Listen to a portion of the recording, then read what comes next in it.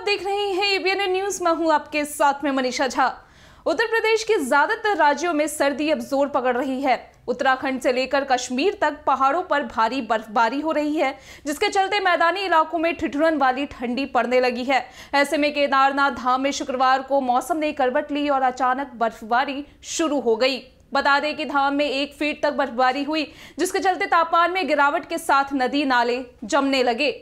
बर्फबारी के कारण धाम में रह रहे लोगों को भारी परेशानियों का सामना करना पड़ रहा है। धाम में अभी भी 200 से लगभग कर्मचारी, मजदूर, महात्मा और पुलिस के जवान रह रहे हैं। भारी बारिश की वजह से धाम में चल रहे पुनर्निर्माण कार्य भी बाधित है। बर्फबारी का दौर इसी तरह जारी रहा तो आने वाले कुछ दिनों में धाम में पुनर्निर्माण कार्यो में जुटे सभी मजदूर भी वापस लौट जाएँगे। वही बद्रीनाथ धाम में भी मौसम ने करवट बदली है, जिसके चलते वहाँ फिर से बर्फबारी शुरू हो गई। गई। यहाँ दिन में ही तापमान माइनस में लुढ़क चुका है। इस समय भगवान बद्री विशाल के कपाट शीतकाल के लिए बंद हैं। धाम में कुछ पुलिस जवान मंदिर की सुरक्षा में हैं और भारतीय सेना और आईटीबीपी के जवान सीमा पर तैनात हैं। बता दें कि ओली में भारी बर्फबारी के बीच सैलानी क्रिसमस मनाने पहुँचे हैं। ओली के ऊपर छतरा कुंड इस समय पूरी तरह से फ्रीज हो चुका है। यहाँ पारा इतना ज़्यादा लुढ़क चुका है कि पूरी झील पूरी तरह से जम चुकी है। होली में छतरा कुंड झील का पानी पाला बन चुका है। यहाँ पर्यटकों की भारी भीड़ उमड़ गई है। रोपवे चेयर कार पूरी तरह से पैक दिखाई दे रहा है और ओली के रिजॉर्ट पहले ही पैक हो चुके हैं। वही लेह में सीज़न की पहली बर्फबारी हुई है, जिसके चलते पूरा इलाका बर्फ़ से ढक गया है। घरों की छतों से लेकर सड़कों तक बर्फ़ की मोटी चादर जम गई है। यहाँ दूर दूर तक बर्फ़ के सिवा कुछ भी नज़र नहीं आ रहा। ऐसे में भारी बर्फबारी के बाद आम जनजीवन भी अस्त व्यस्त हो गया है। सड़कों से बर्फ़ हटाने का का काम जारी है। बर्फबारी के चलते लेह का पारा शून्य से नीचे बना हुआ है। मालूम हो कि कश्मीर में अधिकतर स्थानों पर न्यूनतम तापमान जमाव बिंदु से ऊपर दर्ज किया गया। मौसम वैज्ञानिकों ने रविवार से दो दिन तक केंद्रीय शासित प्रदेश में कुछ स्थानों पर हल्की एवं मध्यम बर्फबारी का पूर्वानुमान लगाया है। मौसम वैज्ञानिक ने कहा कि 26 दिसंबर शाम से लेकर 28 दिसंबर दोपहर तक पश्चिमी विक्षोभ के कारण अधिक दबाव बनने का अनुमान है।